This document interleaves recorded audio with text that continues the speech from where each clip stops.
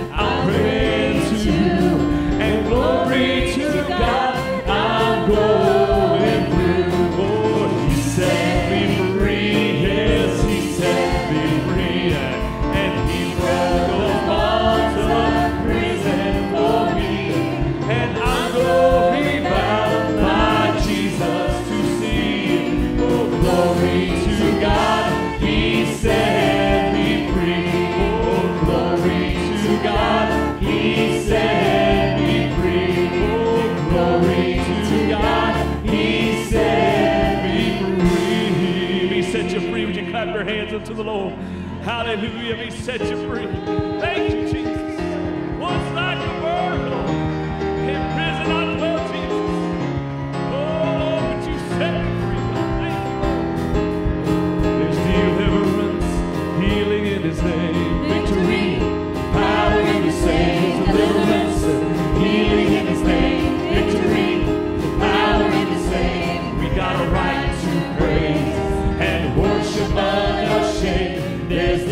Deliverance, deliverance in Jesus' name. There's deliverance, there's deliverance, healing in His name, victory, power in His name, deliverance, healing in His name, victory, power in His name. We got a right to praise and worship unashamed. There's deliverance, deliverance in Jesus. They want to shout for joy. We're gonna shout for joy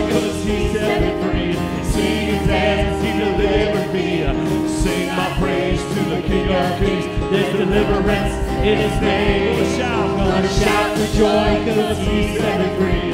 Sing and dance, He delivered me. Sing my praise to the King of Kings. There's deliverance in His name. There's deliverance, in. Victory, power in the.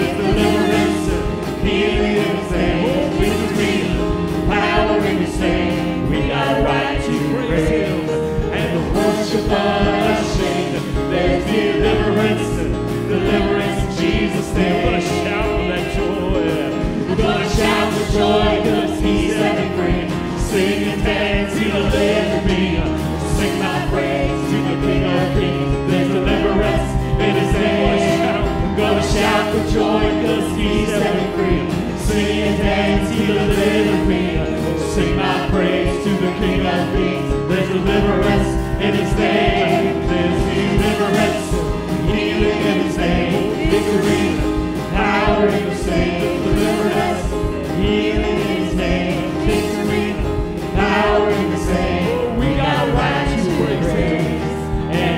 worship unashamed.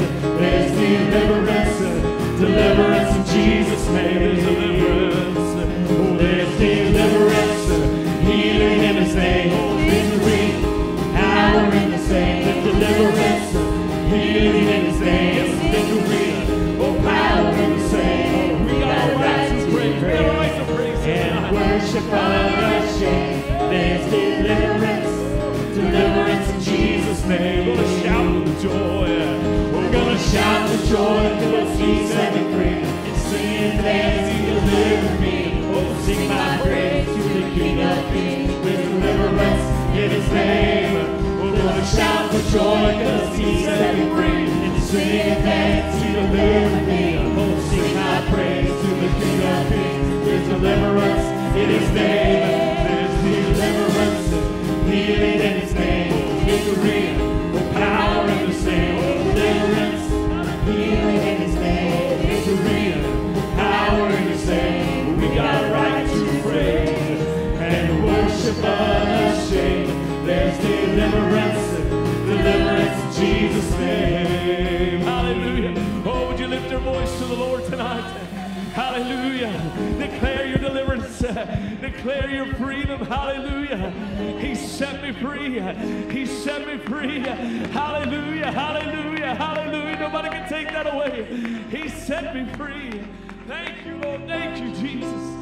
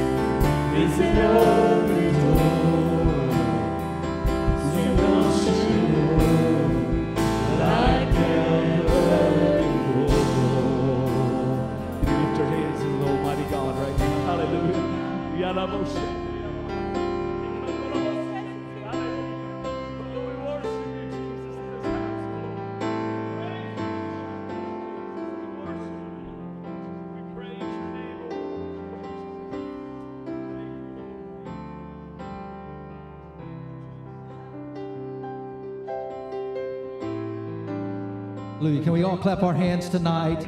Jesus, we love you, Lord. We thank you, Jesus.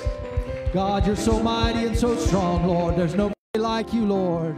God, we worship you, Jesus. We worship you, Jesus. Uh, God, oh God, oh God, oh God, we love you tonight, Lord. Bless your name, Jesus. Praise God. We're going to go before the Lord in prayer tonight, and we are so glad that you've chosen to be with us. Amen. On this Sunday evening. Amen. And we know that God is doing great things. A few requests that we need to pray for. Please pray for Sister Luella Ansel.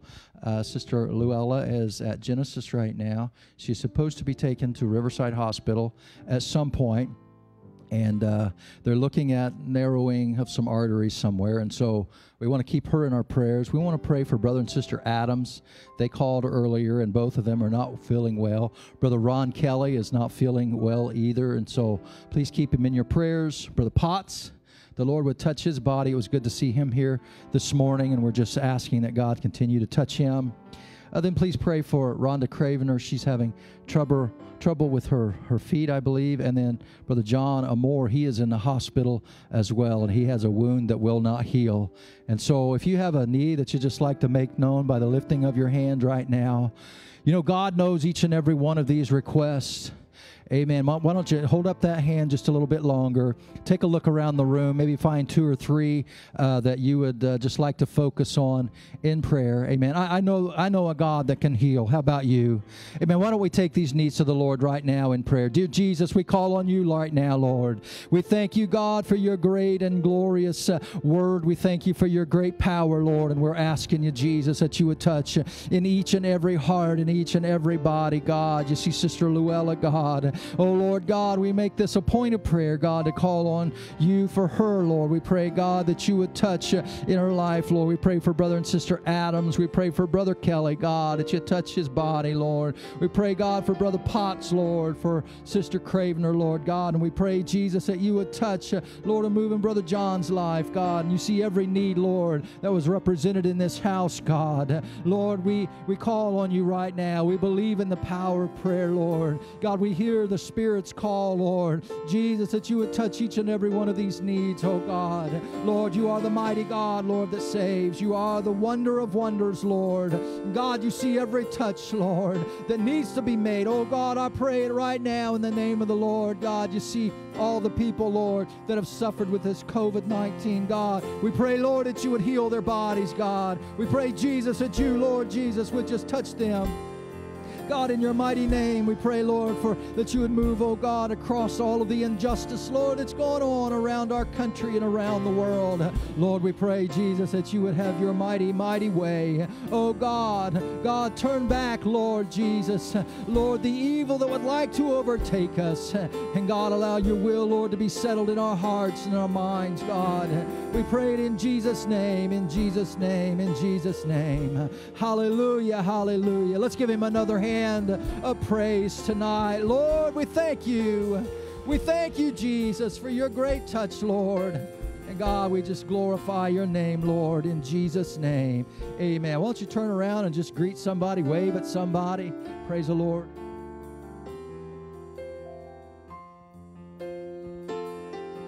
Amen. God bless you. Give it a wave. Maybe this side could wave at that side. You guys in the middle, two guys, you can you can wave on both sides. Hallelujah.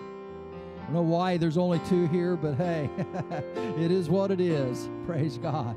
Hallelujah. We're so glad that you've come to be with us tonight. You may be seated just for a moment. Praise God. And uh, this week we were promoting our Save Our Children offering. This is an offering that we receive to bless children all over the world. And uh, uh, it's used for uh, crusades. There was a one of my friends, Brother Keith Blaylock. He he made a trip down, I believe it was to Guatemala this last year, and he was able to be there as a part of an orphanage and a part of an outreach that was there. And they are able to minister to literally hundreds of children that are in great need. And so part of these monies go to this. Part of it goes towards camp meetings, camps that children can have, that they can get together and they can grow and they can make lasting memories. We have to have lasting memories around the things that are important to us. You know, if it's if it's just something that's not wholesome, you know, we can go and do anything that we want to do, but but children they need to be guided and directed in in wholesome ways ways that are protective for them. We don't ever want one of our little fellows to be hurt to be abused. Amen. We, we love them so much and we're so thankful for them. Amen. And so if you'd like to give to that you can. You can mark that on your envelope um, and uh, we'll make sure that that gets to the right spot. Praise god. But we do believe in it. We know that god amen, uh, rewards. And so we're asking a couple ushers to come right now. Um, that's fine. Come on. We've got plates back there. And I, I know it's uh, we're, we're concerned about social distancing, uh, certainly because of the times that we're living in. There will come a day when this will be behind us.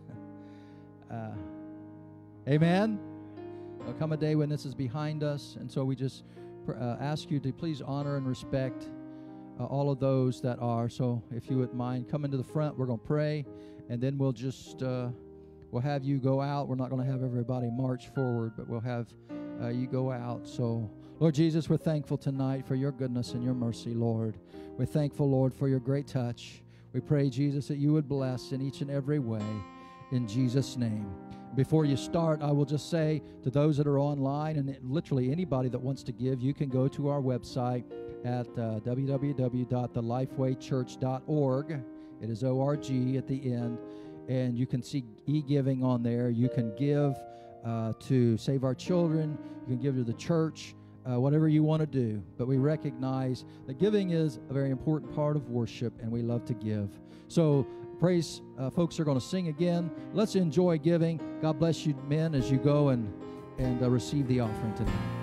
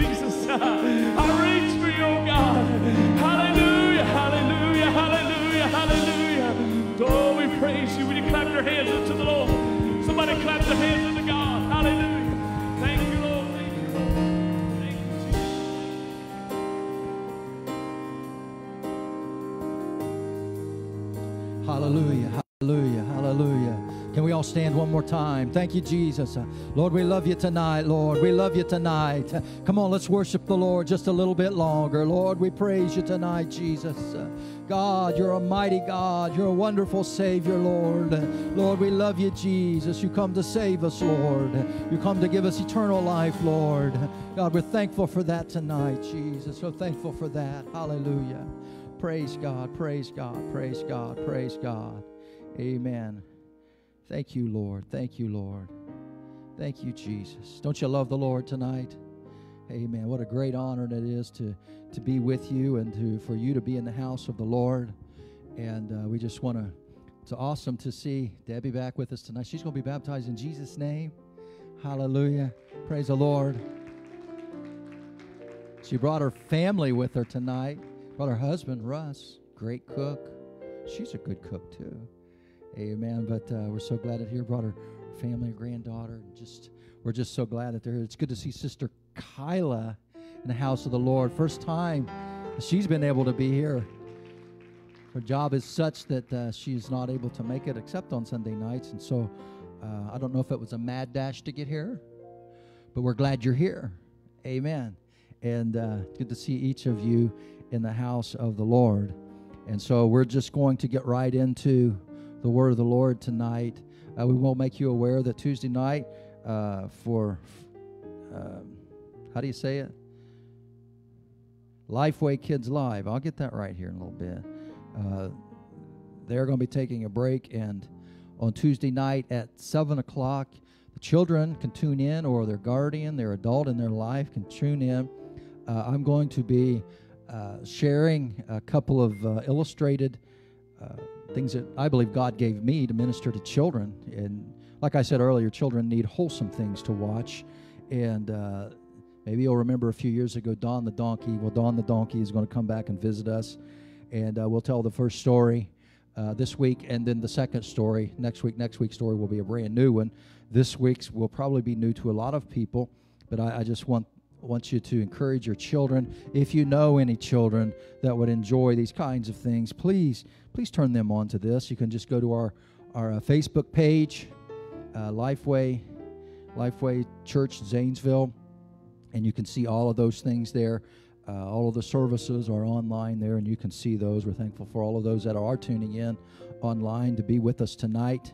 And uh, we're just so excited. We want to get to the baptism tonight, and uh, we're thankful for that.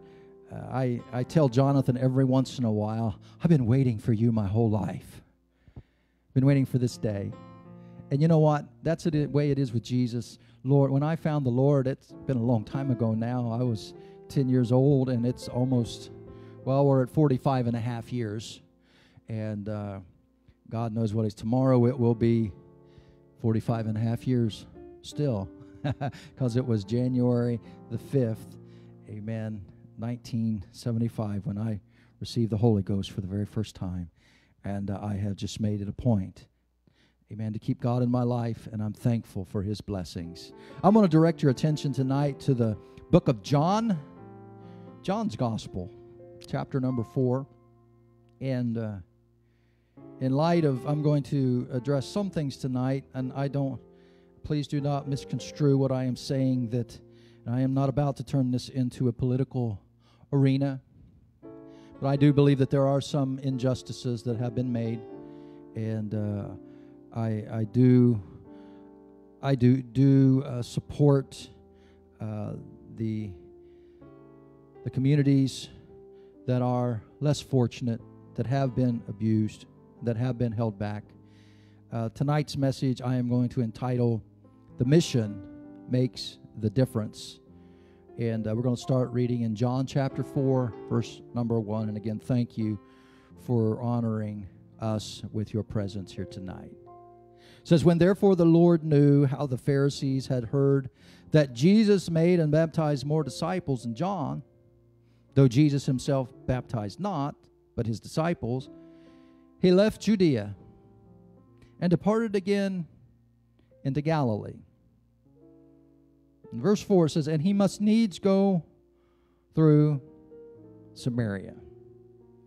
And cometh he to a city of Samaria, which is called Sychar, near the parcel of ground that Jacob gave to his son Joseph. Now Jacob's well was there. And Jesus, therefore, being wearied with his journey, sat thus on the well, and it was about the sixth hour. Story goes on to talk about a woman of Samaria that came to draw water. Jesus said unto her, Give me to drink. You'd think it'd be the other way, other way around. She would ask the gentleman. But no, Jesus asked her. For his disciples were gone away unto the city to buy meat. Then saith the woman, the woman of Samaria unto him, How is it that thou, being a Jew, being a Jew, so we notice that there are some some situations going on here. Ask us drink of me, which am a woman of Samaria. For the Jews have no dealings with the Samaritans. And Jesus answered and said unto her, and this is critical, folks, if thou knewest the gift of God, and who it is that saith unto thee, Give me to drink, you would have asked of him or me, and he would have given you living water. Amen. The woman saith unto him, Sir, thou hast nothing to draw with, and the well is deep. From whence then hast thou that living water? Art thou greater than our father Jacob, which gave us this well, and drank thereof himself, and his children, and his cattle? And Jesus answered and said unto her, Whosoever drinketh of this water shall thirst again. But whosoever drinketh of the water that I shall give him shall never thirst. But the water that I shall give him shall be in him. Everybody say, In me. In him a well of water springing up into everlasting life. And the woman saith unto him, Sir, give me this water, that I thirst not, neither come hither to draw. And Jesus saith unto her, Go and call thy husband, and come hither. Amen. And we'll leave off reading there. The story's a little long. We'll talk about it.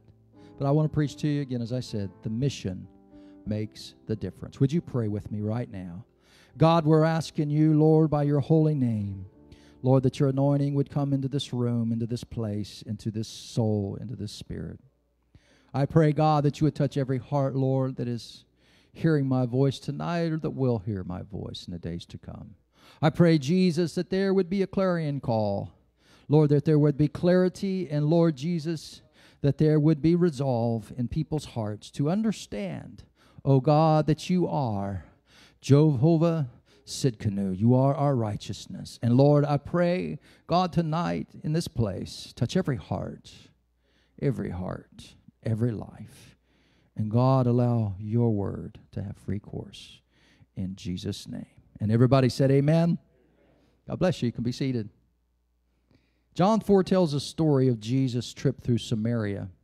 It is one that is very familiar to most of us. Case it's not, we will review it in some detail. Volumes have been written concerning the territory.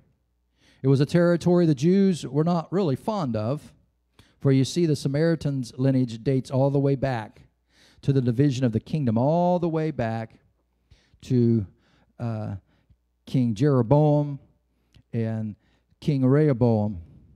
And it, it goes to the point to where people, when there was a harsh king, Rehoboam uh, had said that he would be more harsh than his father was. And so we see that harshness is something that sometimes can be bound up in the heart of people to bring us to places that we really don't want to go. And I, tonight, I, I believe that love is more powerful than hate.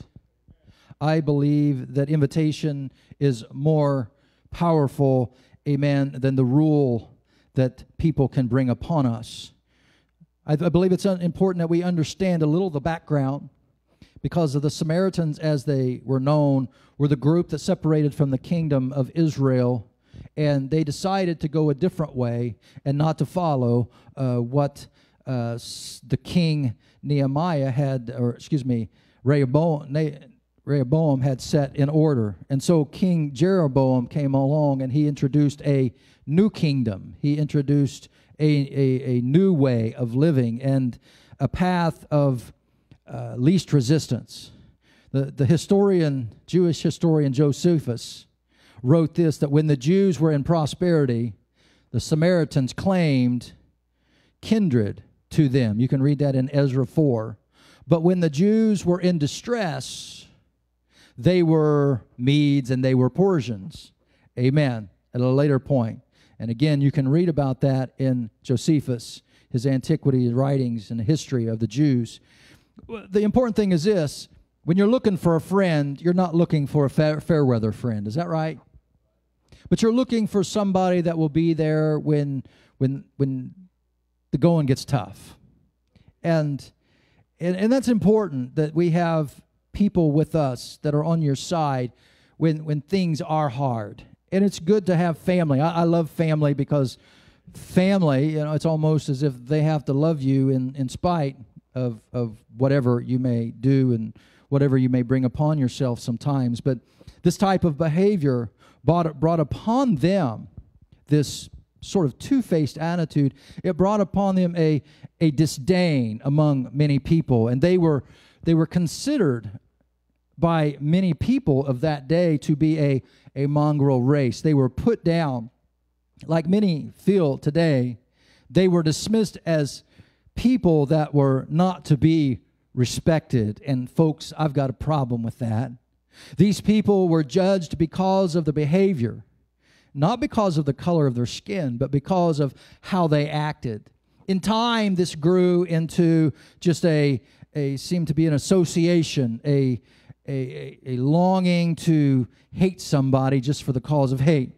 Now, when we move on, this chapter begins with mention of Jesus' ministry and the growth that he is involved in.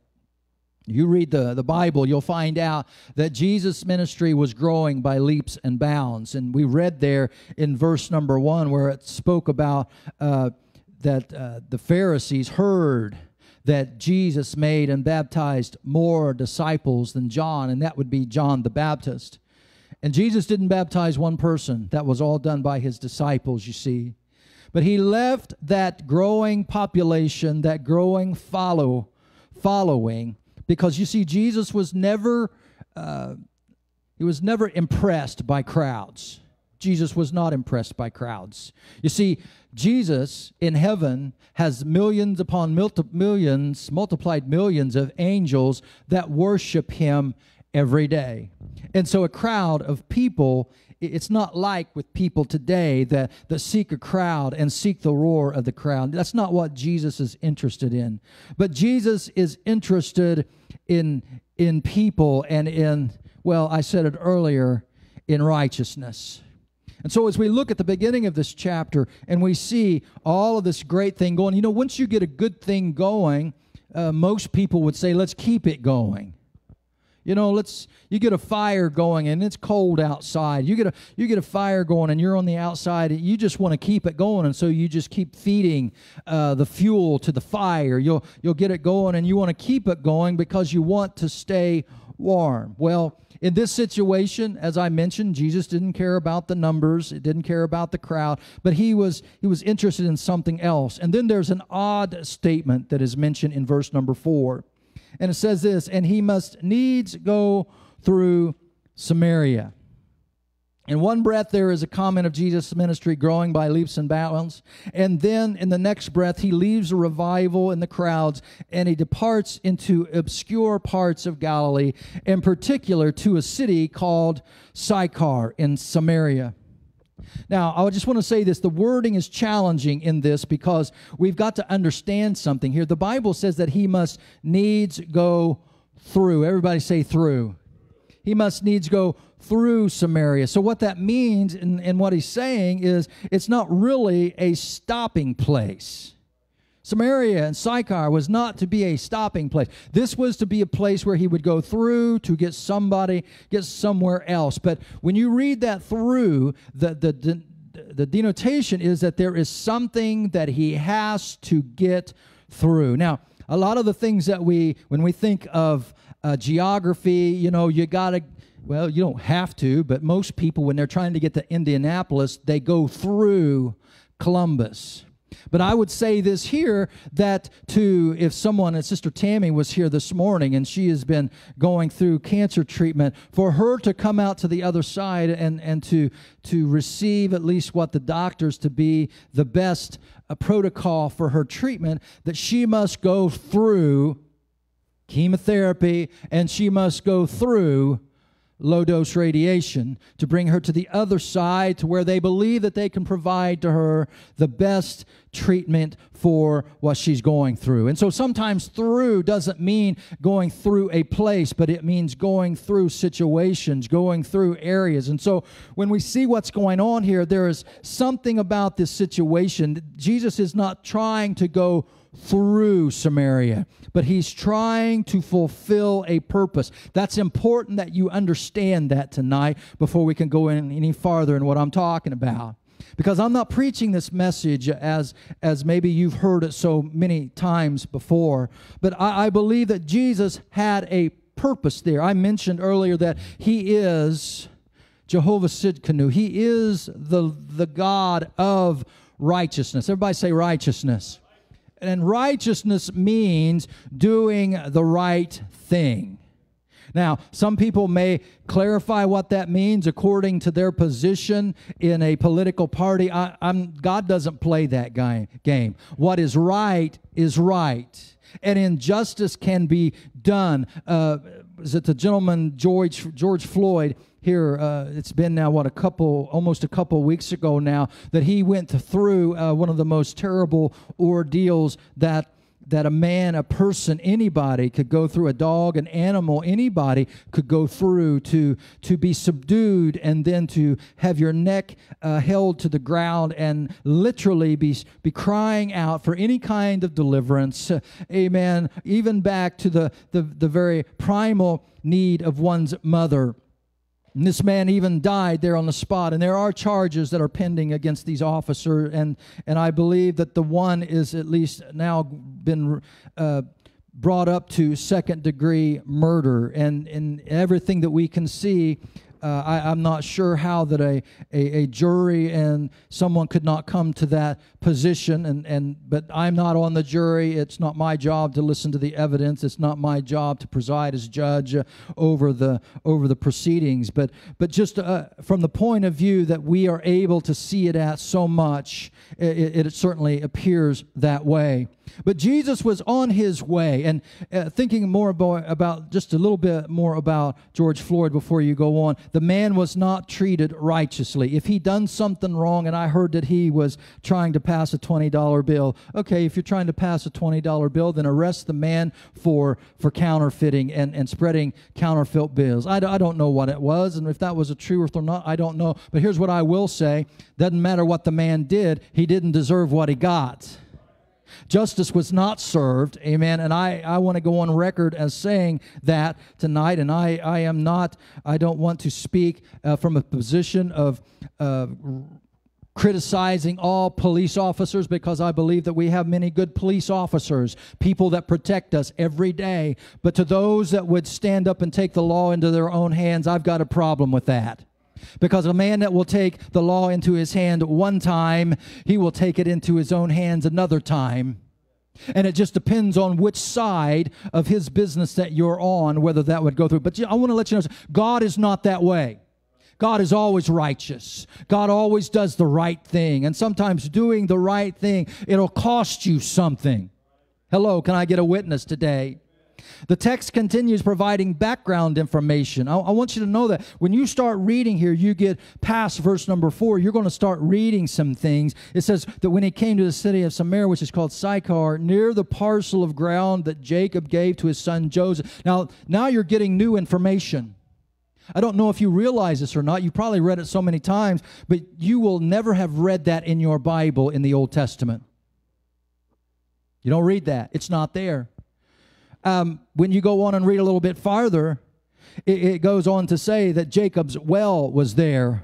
And Jesus therefore being wearied with his journey sat thus on the well and it was about the sixth hour i was read reading some of the theologians that speak about this and they wondered at why that this was not mentioned in the bible and, and as i was praying and considering what god was dealing with me uh, I, it just came to me so hard this was the parcel of ground a little town that was given to joseph by jacob his father as a gift it even states that, that Jacob's well was there. Now, this is really odd language. Jesus makes a journey into an unknown place that he is not even planning on stopping in, apparently. And he is planning on getting through this place. Now, hang with me just a little bit. There, there's this debate that's going on about Jesus' trip into the city. Some people would say that he just went there for the woman to reach this, this woman that was of ill repute she didn't have a very good reputation, but I, I believe that it was much more important of a trip and the woman being there. Now I will say this that anything that Jesus does is not by accident, but I believe that it was planned as well because it went along with the purpose that he was there for. Okay? Now, I want you to know that most Jews would not even travel through that area called Samaria. They would travel the extra four days just to walk around it because they didn't consider the Samaritans important enough to even walk through. So, why would Jesus make a special trip into this little God forsaken place that nobody even knows about or wants to know about? But I want you to know with God, there's always a reason. You can believe that. Why we're here tonight, I don't know the full purpose and meaning of everything that's going on tonight, why we why this COVID-19 has come up, but I do know that God has a reason. Praise the Lord. Whenever you see God ask a question in the Bible, it is never for information, but He is directing His disciples to consider a deeper meaning. The same needs to be considered in this instance. Why would Jesus go to a city that He says is going, that He is going to go through? Now, I want us to just think a minute. Could it be that there is a deeper revelation for us? To consider than merely just the woman, merely that she is a woman that's been pushed aside, merely that it's more than just uh, a, a, people that have been, been considered a mongrel uh, people and that have been. Uh, discriminated against and put down. I, I believe that there's something deeper that it that there is there. Could it be that nobody ever knew this was Jesus' place? I'm sorry, Joseph's place because I want you to think about something. Because it was gra- the ground given to Joseph after he was considered dead by his father. Could it be that this was the place? You see, everyone was supposed to get, get their, their plot of ground, but you know what? When it came to Joseph, Joseph was stolen away by his brothers. They were, he was sold into slavery by his brothers. And while they were all enjoying, you know, their father as they grew older, here is Joseph. And where is Joseph? This was the ground. Could it be that this is the place that jo- excuse me, Jacob mourned for Joseph during the years he thought Joseph was dead? Could there could there the well there have been dug by Jacob as a place where he could go and remain in this place, this territory known as Joseph's plot, to remain in times possibly when famine would come and when drought would come? Could this be the place that that Jacob said, you know, I'm not leaving. I've lost my son, my my son Joseph, the one that I love, the one that he gave the coat of many colors to. You see, you don't get to read about in that in your Bible because Joseph is where he's sold into slavery. He's living in the house of Potiphar. He is there making Potiphar rich. He is there being attacked by Potiphar's wife. He's being sold uh, into slavery, literally in the dungeon of Egypt. Could it be that this is the place? We don't understand it. We don't know about this place because Joseph is off living the life of what it takes, amen, to become the fulfiller of God's dreams. Now, the dreams that Joseph received, we know that they came from God, right? They absolutely came from God. But for Joseph to realize and for everybody else to realize the dreams that God had for Joseph and that one day he would literally save the then known world by becoming second in command to Pharaoh himself, the king of Egypt. It- could this be the place that Joseph comes? You see, we're receiving revelation and information here that nobody else knew about. But when Jesus came to town, he came to right a wrong. And even though it was part of the plan of God, amen, for Joseph to suffer the things that he suffered and to become uh, able to rise to the throne, to, to see many people saved, I want you to know that there was still a wrong that needed to be righted. Praise God. Can you clap your hands to the Lord tonight? Now, whether this was actually the scenario or not, I believe, believe the included background. It's there in the word of the Lord, revealed by Jesus, is significant to us today. I believe Jesus was revealing a hidden piece of knowledge for all people. There are too many people that think nobody cares about the dilemma that they've lived through. And I have talked to many people, those that have been uh, assaulted by, by their own siblings, those that have been assaulted by their own father, their own mothers, and they are carrying scars about them that nobody else will ever know. I want you to know that Jesus cares. Many people carry burdens on their backs to where they think that nobody else cares, and it's not worth even telling anybody else because the pain is too great to share. There are too many people that, that don't think anyone cares about their pain, but I want you to know that although it may take a long time for God to reveal the story of your hurt uh, from Joseph down the thousands and hundreds of years, amen, that it took for Jesus to walk onto that spot, uh, amen, and to set down on that well, I want you to know this that Jesus will always right every wrong, that you're not going to live through an injustice that God will not make right. Praise God. Can you clap your hands to the Lord? Hallelujah, hallelujah, hallelujah. I believe that God gave us this message tonight, and I want you to know that although it may take a long time for God to reveal the story of your hurt, He will go to the extreme lengths to make sure that you are not forgotten. I believe God, amen, is moving tonight and that God knows and that God is about to show up in this house tonight. You see, this was the ground that was given to Joseph that I'm talking about tonight. I believe that there are promises that God has set aside for each and every one of us. Praise the Lord. There are promises that God has for you. Do you hear what I'm telling you tonight? It's not God's will for you to perish, but it's God's will, amen, that you inherit every eternal life. Praise God. You got to understand and believe that God's got a plan for your life. Amen. It's not God's will for you to be abused and then be left there to suffer with the consequences mentally. Eh, the, the physical may have passed away a long time ago and may have stopped, but people bear in their minds the marks of, of abuse. I want you to know that God knows how to fix that. See, this was the ground given to Joseph. Think about all the time Joseph lived in slavery. Potiphar's house, in the Egyptian dungeon, and even in the palace. All he wanted was to be a part of his father's house. All he wanted was a place to settle down and to live out his dream. But the deception of his brothers deprived him of that peace and that place in the family plots. He deserved a spot. I said he deserved a spot, but it was never recorded, amen, in the courthouse.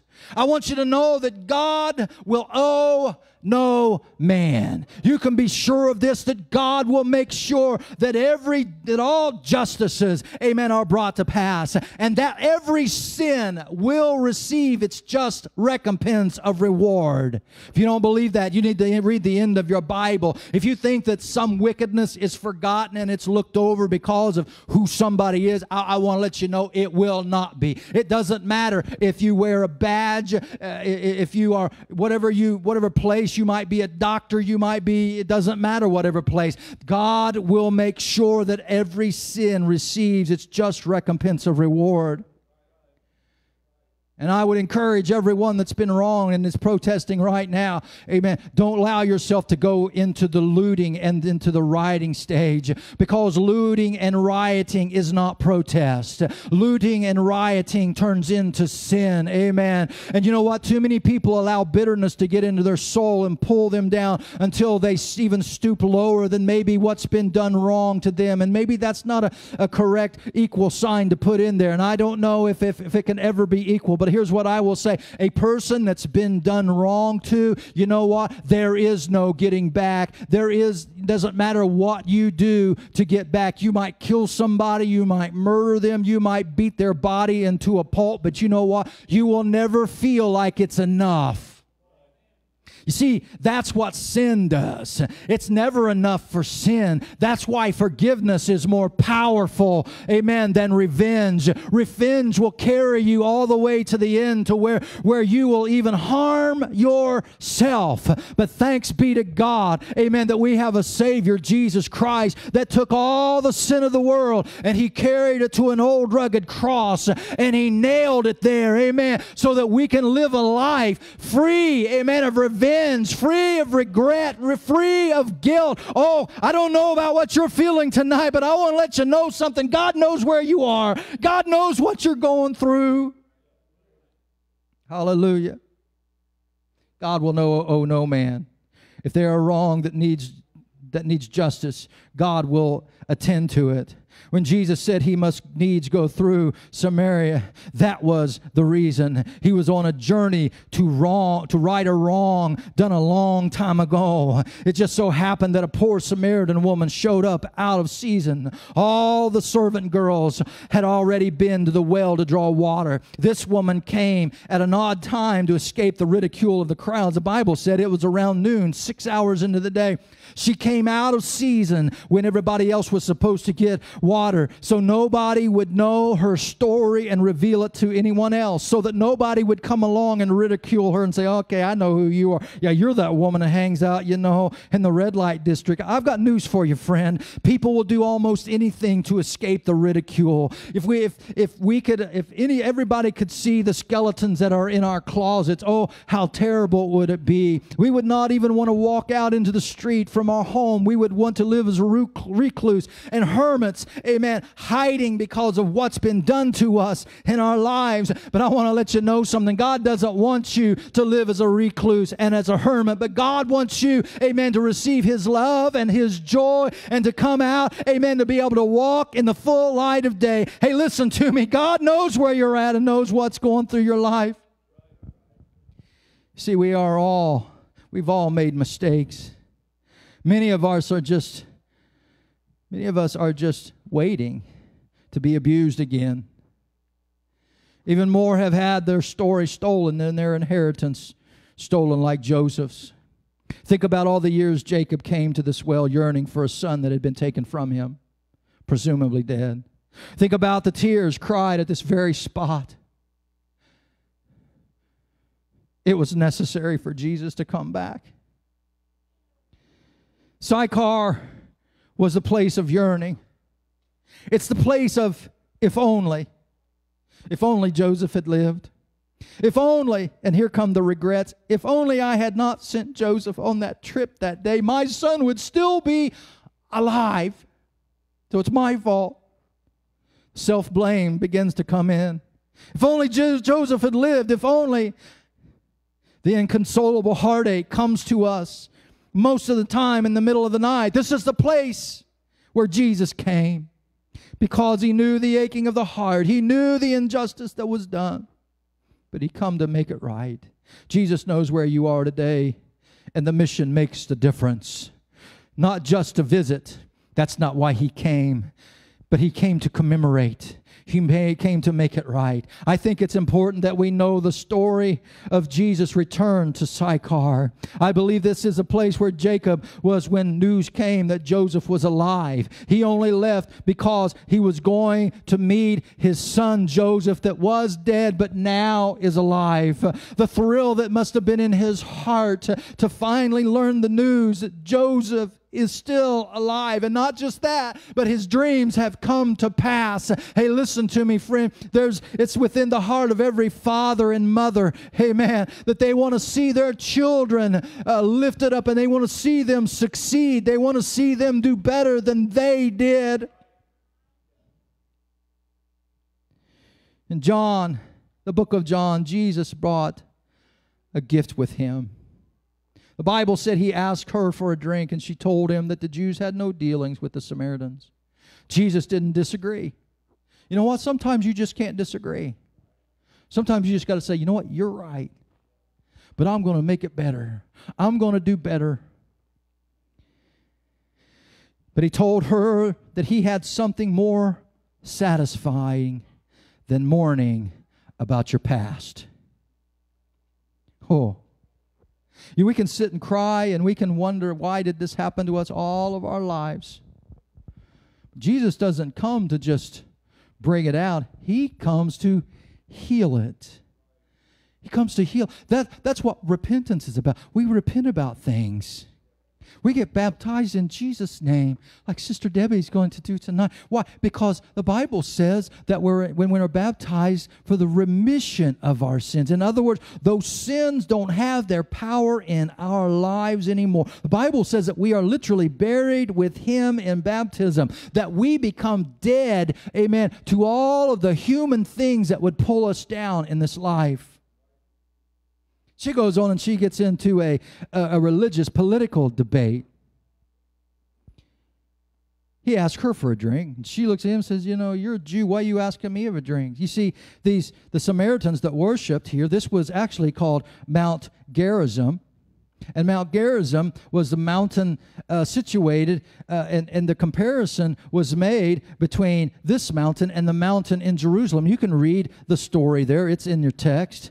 You can read it you can find out what they were talking about. And what she was really doing was bringing up a competitive nature of people, even in religion. You can read it in your Bible. Some would brag and they would say, Well, I'm of Paul, I am of Apollos, I am of this one. And, and they talked and they, they just compared about who baptized them.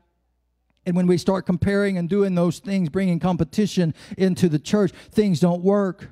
Jesus dismissed the competition and said that the time is coming and notice what he says, and now is when the true worshipers shall worship the Father in spirit and in truth. Here's the deal, friend. We can talk about our past all we want. We can moan and complain and, and, and about all the injustices that have been done for us. But Jesus came to this place that day to settle the issue because in the cross, Jesus settles the issue. And he says the bigger deal is not to complain and it's not to be competitive, but the bigger deal the higher order, is to worship the Lord in spirit and in truth. I don't know about you tonight, but I came to worship the Lord. I didn't come to bellyache and to moan and to tell you all the things that have been done against me. I haven't come to you tonight to say, well, you know, when I was a little kid, you know, I was beat down. I, I haven't come to tell you about the story about my father when people attacked him when he was just a little boy and tried to get a bulldozer to bury him. You know what? Those things,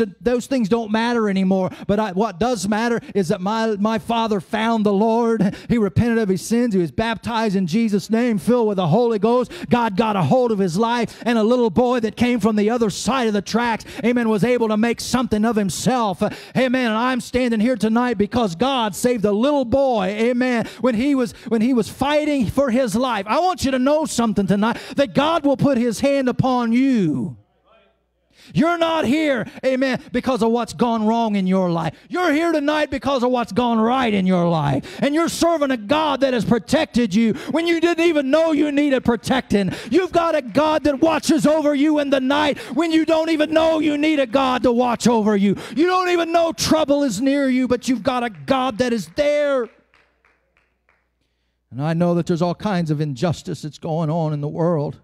I know, amen, the bitterness, the centuries of bitterness that was that was held by the Samaritan people. It can destroy one's life. You see, when all you ever do is complain, you're never part of the, the, the solution. All you ever are now is a part of the problem. If your children just listen to you complain about what's gone wrong in your life and how you have been abused, you know, then that's what they think life is normal about. But I got I want you to know something. Life is not about the things that go wrong in our life, but life is about the good things that can happen in our lives. I want my daughter to know, amen, that God can bless you to the uttermost. I want, I want this church to know that God can bless you, can give you the job, amen, that you really want all your life, that He can make all your dreams come true.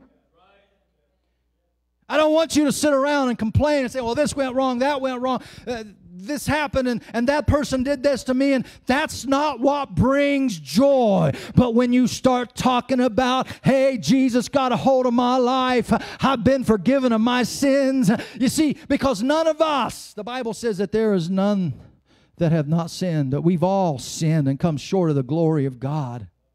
And before I've got a right to complain about the injustices that have come to me and against me, I have first got to go and make the things that I have done wrong to other people, I've got to make them right.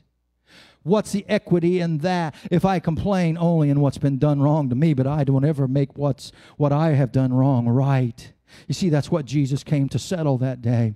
He came with a mission. He came, amen, to destroy centuries of bitterness that destroy one's life. Let me say that in a few moments of bitterness can destroy a life. Amen. But I want you to know that the same few moments, that if you'll start worshiping in God and praising God for what He's doing in your life, you know what? Those same few moments can lift you up out of that primordial ooze and, and bring you up out of the of the sludge of life and the hurt and the bitterness that so many people want to embrace. It can bring us up and say, you know what? There can be a new day.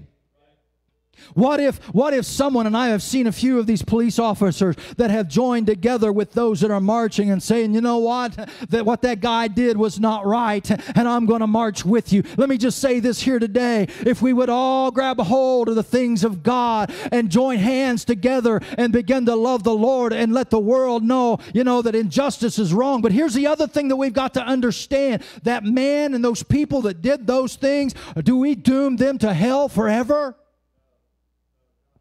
To doom to someone forever to hell? If not it's just as bad if not worse than what that man did to george floyd. You see that's what bitterness does. It doesn't stop at, at, at an equal sign. It goes farther. It goes farther and farther. And here's the deal. Revenge is never enough. That's why you've got to turn it over to god. Turn it over to a god that knows how to weigh it equitably. A God that says, you know what? It has been met. But here's the thing that we got to understand that all sin ends up at Calvary. Jesus came and said, Worship is not about a place, but it's about a person. It's about the Lord Jesus Christ. He revealed to her who he was. And she left not with bitterness in her heart, but she left a woman that had been afraid to a woman that now went out as a, as a clarion call and as an announcer to, to her world and say, Come see a man that told me everything that I ever did. In other words, she was saying this Y'all know who I am. Y'all know what I've done. You all know that I'm a prostitute. Y'all know that I have done some very wicked and evil things, and I have hid behind that, and I I have slinked in the shadows, but not anymore because I met the Messiah. I met the King of Kings. I met the Lord of Lords. I met the one that can read my mail. Amen. He knows every intimate secret of my heart. He knows every bone of the every skeleton in my closet. That's the God that showed up that day. The God that showed up to say, you know what? I know you ended up in this situation through no fault of your own. And yes, you might be suffering as a prostitute, but I want you to know I've got a better plan for your life. I've got a better plan. Oh, hallelujah. And so she left him to go tell everyone that the Messiah was in town. She didn't hold it to herself and say, you know what, I kept my bitterness to myself and I hid with us, so I'll keep my Jesus to myself and I'll hide with him. No, she said, I've got to tell everybody. She ran through the streets of the city, going and saying, hey, listen, you remember me? I'm not the same woman I used to be. God got a hold of me and he's made everything right in my heart. Jesus has come to her town. Jesus had come to their situation. Jesus had come to their dilemma. I want you to know that Jesus has come to your situation. Jesus has come to your dilemma. He's come to your predicament. And everyone came because of what a despondent woman declared. The confession that she made Come see a man that told me everything. The bigger thing is that she was okay talking about it now. I want you to know that Jesus has come not just to expose your heart. You ever see people that when you get a when you get a bad boo boo, a boo boo, maybe you fall down and you cut your hand, or maybe you have a surgery, and you notice this with with guys, mostly guys, not gals, but they come together and they want to compare their scars. They want to compare their boo Yeah, I had a boo boo and, and it was this long. Somebody else comes along and says, Well, I had a boo boo that was that long. Or I had one that was that long. Or maybe they'll pull up and there's a limb missing. It's not about comparing the size of our boo boos. It's not just talking about it. That's not what the Lord does. But the Lord will come into your life and He'll heal you. He'll make it. Even in one place, if you read, the Bible was talking about um, some lepers. And in one place in the Bible, the Bible says that they came and they called out to Jesus and they said, Jesus, the son of David, have mercy on us. And Jesus healed them. And the Bible says this that there was 10 of them, and one of them turned around and went back to thank him. And when he thanked him, Jesus looked at him and said, Go your way. You are made whole. And when you look up that word whole, the word whole does not mean full of scars, but it means that where noses had rotted off before, they grew back and it was just as fresh as a baby's skin. Fingers that had been gnarled and hands that were that were consumed by flesh-eating bacteria and and and all kinds of na- all of a sudden fingers started growing back stumps started growing back and the body was made whole. I'm here to tell somebody that god just doesn't want to give you scars in your spirit but god wants to heal your heart. So that when you hear the story now, you say, Yeah, that happened to me, but you know what? I don't feel its consequences anymore because Jesus set me free. Jesus healed me. I don't talk about that with anger in my heart anymore, but I realize that Jesus did something for me that the psychologist can't do, the psychiatrist can't do. You may even find a brain surgeon that can go in and numb and, and take out parts of your life. But you know what? Jesus can go in and take it without ever invading your body. Oh, hallelujah. I don't know if you understand what I'm talking to you about tonight, but if you could talk to Jacob, uh, if you could talk to Joseph, and you could understand what was stolen between that son and his father, then you would understand. To those of you that have lost a child, I've never done that. But maybe that is the closest thing that you could ever come to. The longing that's in your heart, and I don't mean to bring I don't mean to bring feelings into your life right now and tears to your eyes about the loss that you suffered, but here's, here's what I want to say to you that God can heal the hurt. But it's the mission that makes a difference. Because as Jesus came to right that wrong that was done so long ago, he came to heal a woman. He did. He come and gave her a new life. You see, that's what the gospel's all about. It's about taking our old life, the old me, the hurt me, the bitter me, the one that that hangs on to unforgiveness and say, "No, friend, I'm sorry. It hurt too much." Jesus comes into our life and he can't becomes more than enough. Hallelujah. As the musicians come tonight. I don't know where you're at in life. I don't know what problems you've had. I don't know how you've been abused.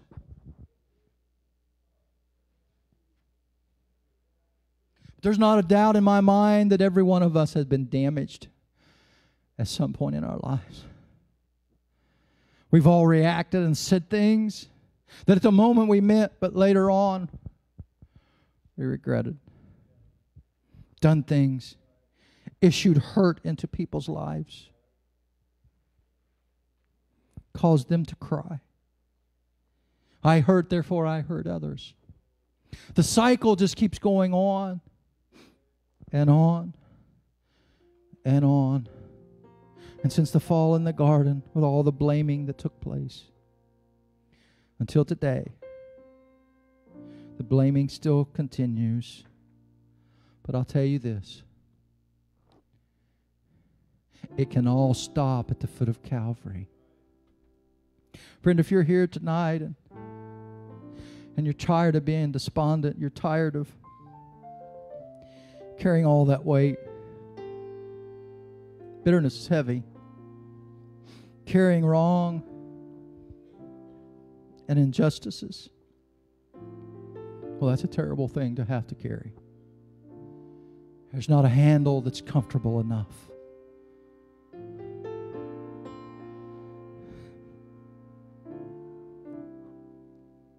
There's not a mind, a psyche strong enough to bear that every hour of every day, every minute, every second. No wonder so many people commit suicide in the middle of the night. It's because it's in those times when people can't sleep.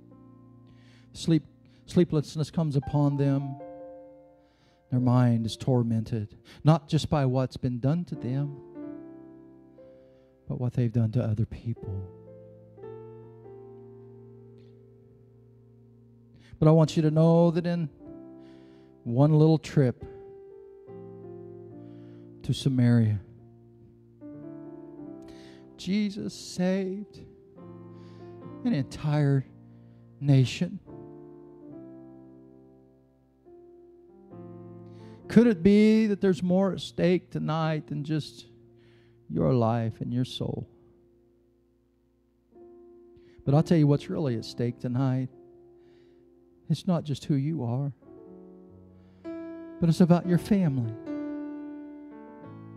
It's about your mom, your dad, your grandmas, your grandpas, your uncles, your aunts, your nieces, and your nephews. I, had a preacher friend one time, and I even hate to share this story with you. But he had been hurt. Another preacher had come to town and had come in and stirred up a bunch of trouble and taken virtually took over took 100 people 75 people out of his church in one service one day they had a nice service the next sunday they came and over half the church was gone and this preacher let it bother him so much I was a young preacher and I was just trying to learn. But every time I got together with him, all he wanted to talk about was this other man that had hurt him.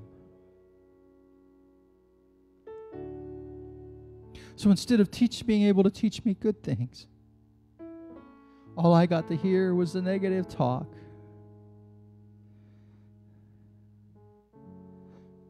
Pray for that man today. I pray for both of them. I pray that somehow God would send peace. I preached too long. I know that. But I feel that there's somebody listening tonight. You've been battling, you've been doing the best you can just to get by. But I want you to know that tonight Jesus can make it all better. He can right, the wrongs. He can save your life. And all you got to do is ask Him to forgive you. That doesn't make sense, preacher. How do I ask God to forgive me and He comes in my life? Here's the deal it's about positioning Christ. If you'd like to stand with me tonight, I won't be much longer. I'm excited to baptize Sister Debbie. But here's what happens you go from being in position to where you have been a sinner, an offender, to where all of a sudden now God says, you know what? I forgive you. And when He forgives you, He restores you back to your original, just as if, listen to this, we always want to point it towards sin and what we did. He restores us to just as if we had never sinned. But I want to let you know it's deeper than that. When God comes in your life and you give him authority and you give him the rulership in your in your life, you know what? It's not only just he makes it as if you had never sinned. Listen, are you ready? He makes it as if you had never been sinned against. You had never been offended. You had never been abused. I don't think we've ever caught that before. I know I haven't. But that's what God can do in our life.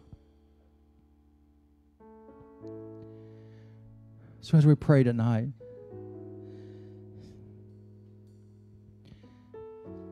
I want to encourage you to let go. If you're hanging on to past abuses and past bitterness, won't you let it go tonight? Can we pray right now? Some of us had some pretty diabolical things done to us. But I'm telling you, at the foot of Calvary, every high place is brought down and every low place is brought up. It doesn't matter what your name is, doesn't matter what your color is. But at the foot of Calvary, it's all level ground. What you lived through, you didn't deserve. Joseph, you didn't deserve that. You were the favored of God.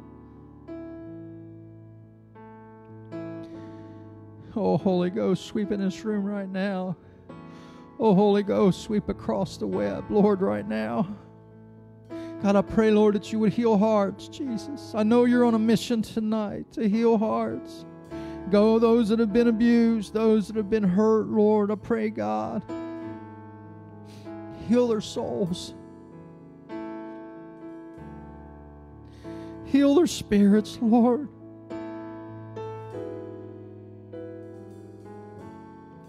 I can't heal you. There's not a doctor in this world that can heal you, but Jesus can. Just one trip.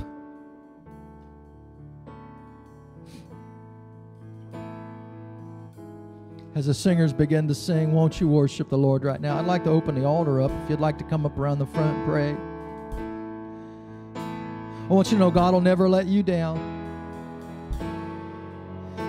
Family might let you down, friends might let you down, but Jesus will never let you down. I might let you down, your mom might let you down, your dad might let you down, but Jesus will never let you down.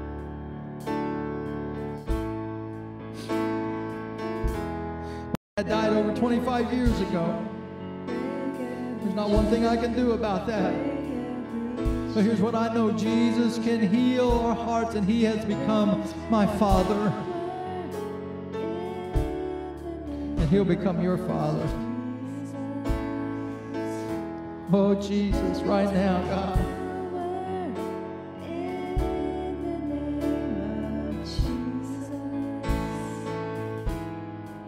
God will make it right. You hear me? God will make it right.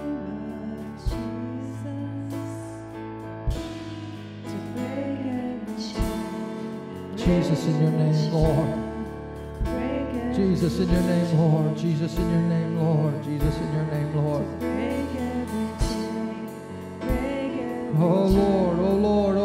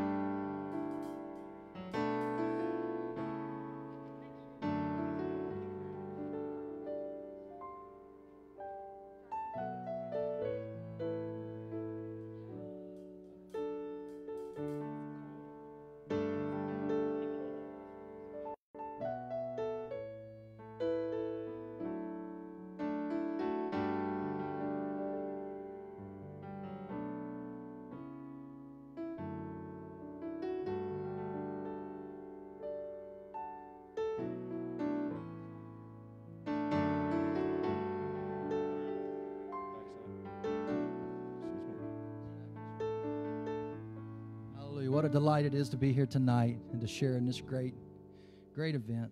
And uh, sins washed away, Sister Debbie. Sins washed away. New nature that I talked about tonight. And I'm so thankful.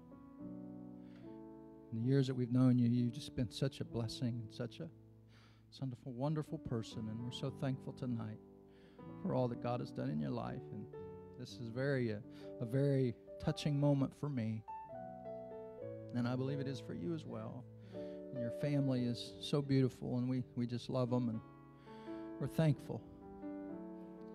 We're thankful. We're going to pray right now. Let's pray for Sister Debbie. God, we, we thank you, Lord, for what you've done. We're asking you to touch Sister Debbie right now in the name of Jesus.